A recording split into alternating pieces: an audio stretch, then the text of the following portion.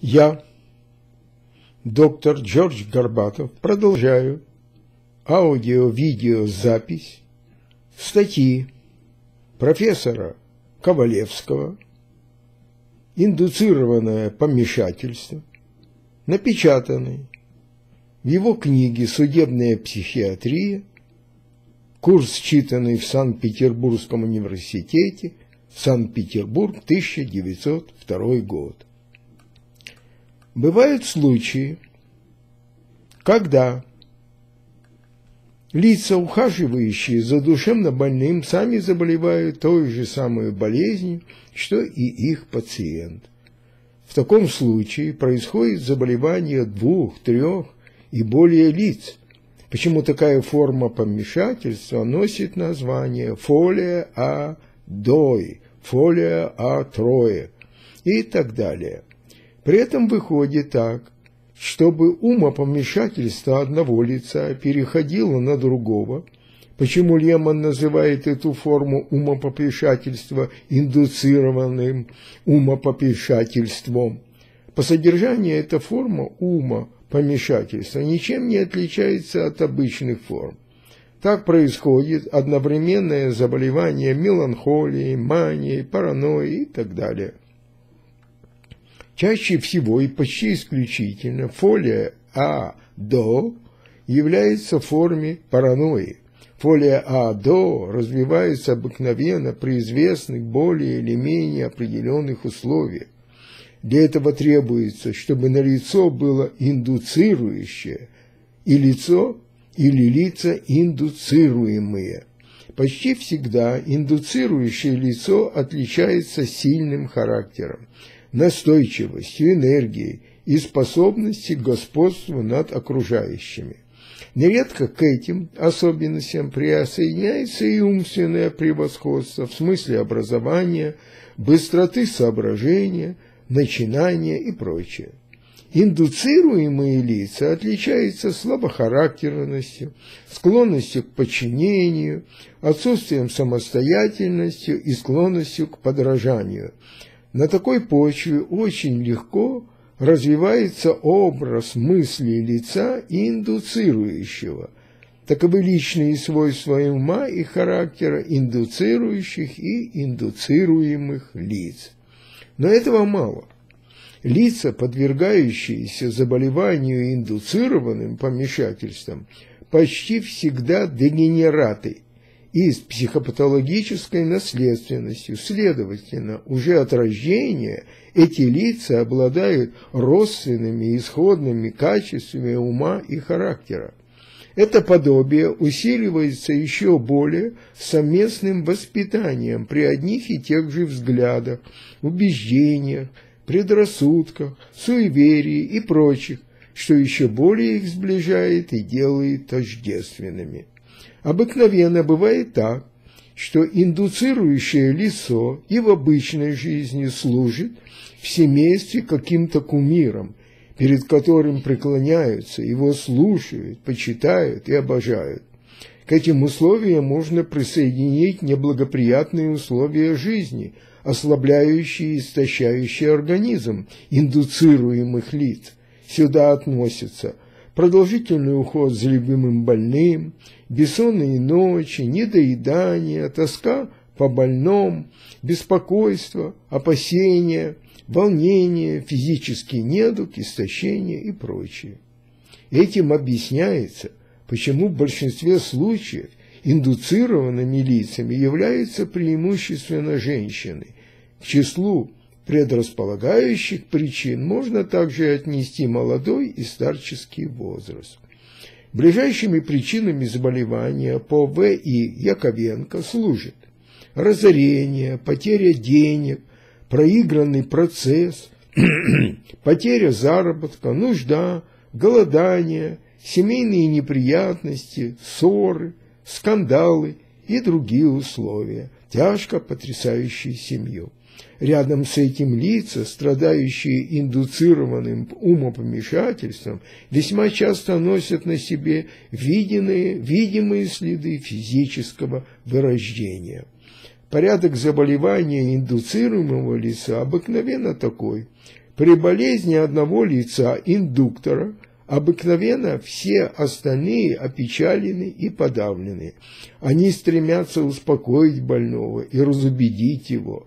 Но вскоре оказывается, что этот прием не только не успокаивает больного, а еще более укрепляет и раздражает его.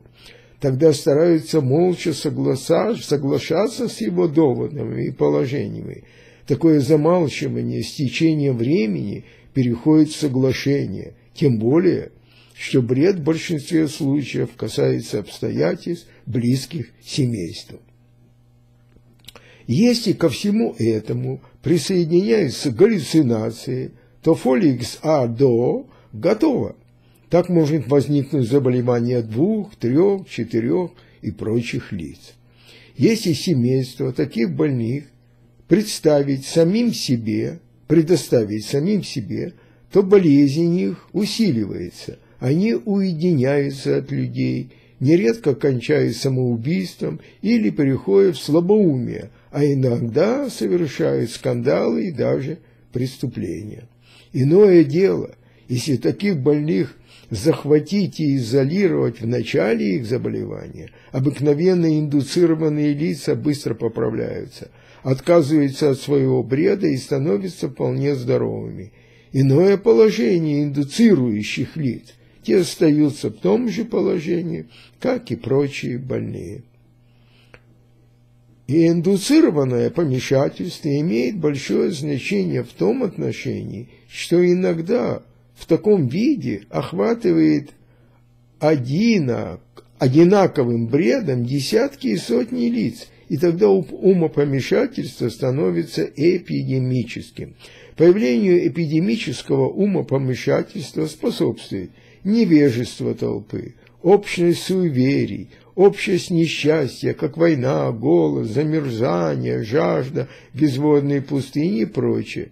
Такие эпидемии особенно частые и повальны были в средние века. Появляются они время от времени и теперь. Так недавно такой случай эпидемического помешательства описал профессор Яа Сикорский, где один параноик образовал довольно многочисленную религиозную секту. Такой же случай эпидемического помешательства я наблюдал в Харьковском доме умалишенных, куда прислали на испытание умственных способностей основателя секты, неохриста, параноика, переходящая в слабоумие, и человек семь-восемь апостолов. Все таковые секты имеют в основе своей живую потребность в вере и духовном утешении. Отсутствие духовного лица, которое удовлетворило бы этой потребности, невежество, массу суеверий и тому подобное. И вот, если в такой среде появляется параноик, религиозный реформатор, то он легко увлекает эту невежественную массу, навязывает ей свой бред и создает целую секту. Случай Д.Н. Стефановского. Вудс приводит следующий случай индуцированного помешательства пяти лет – это были мать 45 лет, дочь 24 лет, сын 22 лет, дочь 18 лет и дочь 15 лет. Все эти лица под влиянием общих им всем галлюцинаций и бредовых идей убили одного из братьев, эпилептика, которого они приняли за черта и колдуна. Убийство по решению всех пяти членов семьи – было совершено матерью и братом. Очень интересен также случай Маник, Матинек, в котором одержимы были демон, демономаническим, демономаническим бредом преследования четыре лица одной и той же семьи. Причем под влиянием охвативших их галлюцинаций и бредовых идей они совершили целый ряд скандалов и проступков. Коля – приводит следующий случай фолия атроис, то есть э, помешательство троих. Больны, две сестры и брат, все с явлениями наследственного выражения. У младшей сестры после какой-то маточной болезни появился параноический бред с характером преследования и сутяжничества. Эти бредовые идеи были пассивно восприняты старшей сестрой, на которой они достигли подобного развития. Больные помещали прошения, жалобы в газетах на некоторых духовных лиц, врачей, дам и других, которые составили коалицию с целью вредить им и сделать их жизнь невыносимой. Впоследствии к ним присоединился и брат. Доктор И.В. Константиновский сообщает следующий случай индуцированного помешательства, окончившегося весьма печально. Сообщение касается пяти сестер, окончивших жизнь совместно самоубийством. Шестая сестра из этого семейства находится в доме умалишенных в состоянии паранойи. Девицы Д происходили из достаточной семьи и в детстве имели много странностей. Так, будучи детьми 80 лет, три старшие сестры, получая домашнее воспитание, не желали брать уроки у учителя, который им почему-то не нравился. Оставили в доме записку, в которой заявляли, что они уходят из дома по сказанной причине, так как их принуждают делать противное их убеждению – взяли с собой в мешочке ржаных сухарей и ушли в лес. Стоило большого труда их найти. По смерти отца двух младших сестер отдали в гимназию, но курс окончить они там не смогли вследствие столкновения с учителями, подобно старшим сестрам. Отношение дочерей к матери было трогательное, и мать их тоже боготворила. В 1875 году семья переехала в Москву, обладая достаточным капиталом. К времени последнего события им было от 24 до 35 лет. По смерти отца старшие дочери ни на миг не отпускали из глаз младших, опасаясь дурного влияния. Старшая сестра отличалась холодным, рассудительным умом и руководила всем ходом дел, которая была беспрекословным исполнительным органом.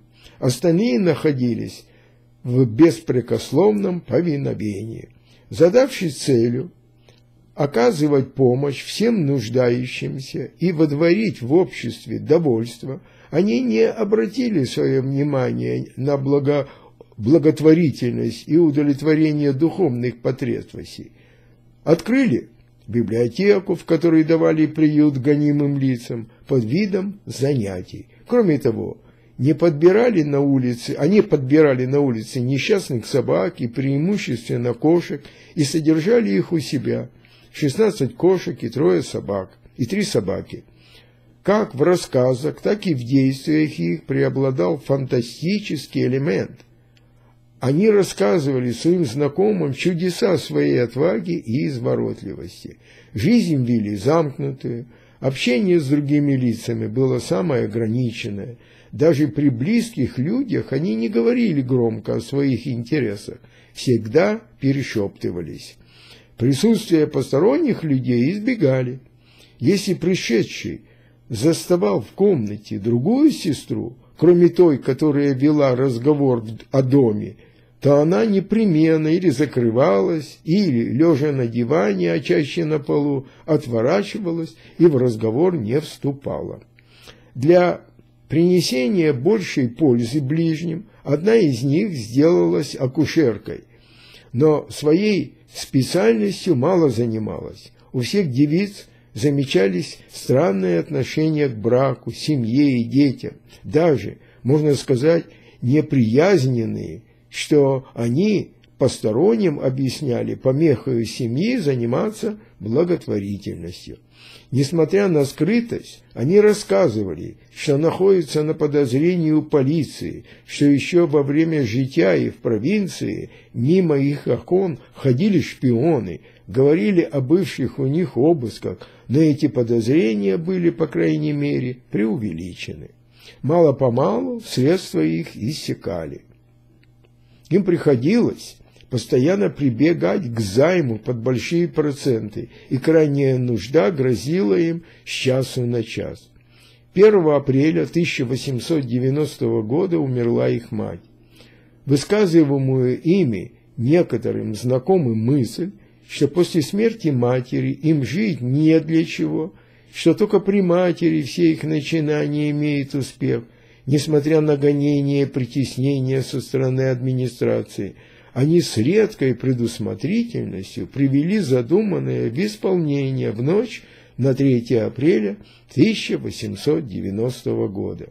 Они разослали все имеющиеся у них деньги своим кредиторам, оставив своего знакомого в руках сумму, необходимую для погребения матери, отравили своих животных, написали множество писем, в том числе одной своей кредиторши, которой после некоторых просьб желает долгой жизни. Постарались удалить из дома единственную свою прислугу, приобрели необходимое количество угля и, запершись в комнате и закрывши тщательно все отверстия и щели, улеглись все рядом на полу и умерли от угара. Тут же я продолжаю э, следующую статью, начитывать следующую, э, значит, статью того же автора, то есть профессора Ковалевского. Статья называется «Кликушество» и размещена была в том же самом учебнике судебной психиатрии профессора Ковалевского – Э, значит, напечатано в Петербурге в 1902 году. Кликушество. Близко к истерии стоит кликушество, очень распространенное, особенно на севере и в средней полосе России. В своем изложении клинической картины кликушества мы будем придерживаться прекрасной монографии Я. В. Краинского. Кликушество проявляется почти исключительно у женщин, и притом крестьянского сословия – по существу, кликушество есть то же явление, что в средние века была диамономания или одержимость бесами. Причем в одних случаях кликушество дьявола поселялось самопроизвольно, и одержимость дьяволом выступала на первый план. В других же на первом плане стояла порча колдунами или колдуном-знахарем, который вселял в больную порчу. Кликушество проявляется эпидемически и спорадически и охватывает женщин, женщин от 12-летнего возраста и до глубокой старости, девушек, замужних и вдовых. Редко болезнь длится короткое время и проходит бесследно. В большинстве же случаев она длится годами и даже пожизненно. Начинается болезнь большей частью сразу с точки определенного больными момента, который обычно совпадает с каким-нибудь происшествием, которому больная приурачивает свою порчу. Затем болезнь постепенно усиливается и в течение недели месяцев достигает полного развития. Первые признаки болезни проявляются в форме субъективных болезненных ощущений, изменения характера и настроения больной. Особенно часто вначале появляется боль под ложечкой и чувство подкатывания под сердце. К этому скоро присоединяется и глебус гистерикус, ком в горле, Джордж Горбатов, чувство стеснения сердца, ощущение твердого тела под ложечкой, метеоризм, онемение спины и конечностей, чувство ползания мурашек, мучительное неопределенного характера болезненное, болезненные ощущения, появляющиеся без всякой правильности в различных частях тела. Кликуша становится замкнутой, скрытной и раздражительной. Все ее мысли, все ее мысли сосредотачиваются на ее болезни, и ничего ее более не интересует и не веселит. Уже очень рано она принимает вид страдалицы, причем покорно и безропотно отдается постигшему ее несчастью. На этой подготовительной почве развивается насильственное представление, болезнь святости, укрепляющаяся путем внушения со стороны окружающих и самовнушения. Болезнь святости есть главный симптом кликушества – из которого уже выводится заключение о вселении в нее нечистой силы. Уже с самого начала Кликуша начинает ожидать, что у нее скоро появится нетерпимость к святым предметам, иконам, ладану, церкви и прочим. И вот в церкви или на богослужении в доме у кликуши разряжается первый припадок. Чаще всего при этом кликуша кричит на голоса. При этом она или издает лишь бессловесные звуки с различными переливами, интонациями, без всякой правильности и ритма, напоминая лак, лай собак, всхлипывание, кукуканье, перемежающееся иканьем и рвотными движениями, или же они выкрикивают определенные слова, имя, испортившего ее лица и прочее. Голос кликуши пронзительный и громкий, и почти весь крик построен на высоких нотах. Каждая музыкальная фраза крика повышается и ускоряется, и затем вдруг обрывается.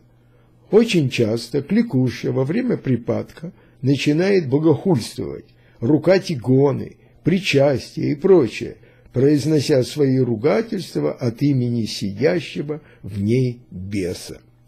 К этому почти всегда присоединяется ряд двигательных явлений. Кликуша падает на землю быстро и стремительно, но при этом не разбивается и не задевает окружающих ее предметов. По падению кликуши развиваются беспорядочные движения в форме произвольных и целесообразных движений, совершаемых в состоянии душевного экстаза. Правильности и последовательности в этих движениях незаметно. Крик, падение и двигательное возбуждение и составляют наиболее существенные проявления припадка, обыкновенно длящегося от 10 минут до 2-3 часов. Органы чувств кликуши во время припадка функционируют.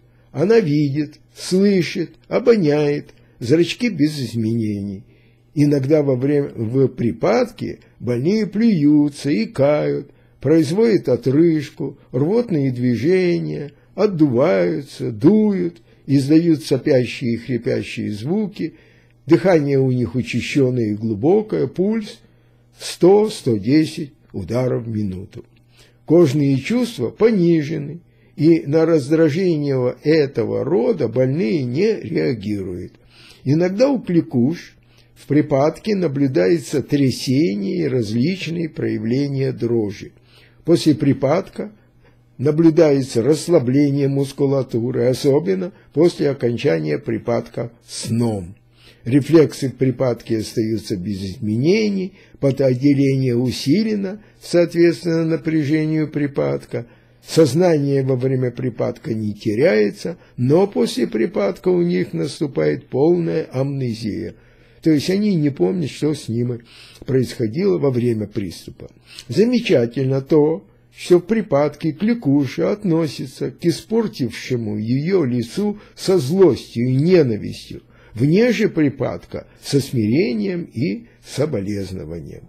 Припадки повторяются неправильно от нескольких раз в день до одного раза в, год, в году. Обычно их появление приурачивается к церковным службам и обрядам. Состояние кликушества многие авторы относят к истерии. Н. Бен Краинский с этим не согласен и относит его к состоянию сомнамбулизма, причем некоторые кликуши обладают способностью ясновидения. В судебно-медицинском отношении в кликушестве должно различать два состояния – припадки и светлые промежутки между ними. В первом случае могут совершаться самые разнообразные деяния, осквернение святынь, оскорбление личности, поджоги и тому подобное. Несомненно, что все эти деяния, хотя и сознательные, но, все, но совершаемые в патологическом состоянии сознания, а потому и, безусловно, невменяемые.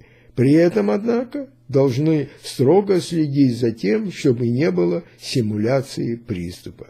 Что же касается светлых промежутков кликушества, то все деяния этого состояния вменяемы и заслуживают только снисхождения ввиду того, что кликуша, как таковая, представляется уже личностью с подорванной, неуравновешенной и неспособной оказывать стойкое сопротивление внешнему раздражению нервную систему.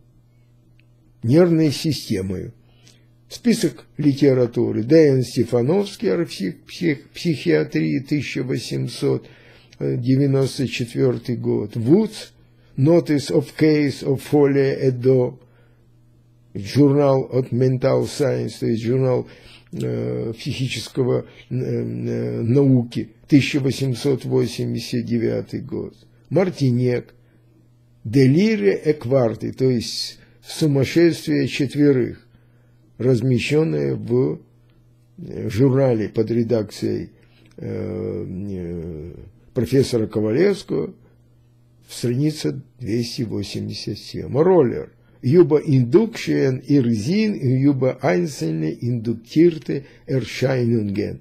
Значит, о индуцированном сумасшедшии и о единичном проявлении, индуцированном проявлении, напечатано в Альгемайном für психиатрии 1894 год. Н.В. Краинский. Порча, кликущие и бесноватые. 1990 год. 1900 год, извините. Так, ну что, на этом, на этом я заканчиваю чтение статей из книги профессора Ковалевского «Судебная психо психиатрия». Вот. Благодарю вас за внимание и до следующего чтения.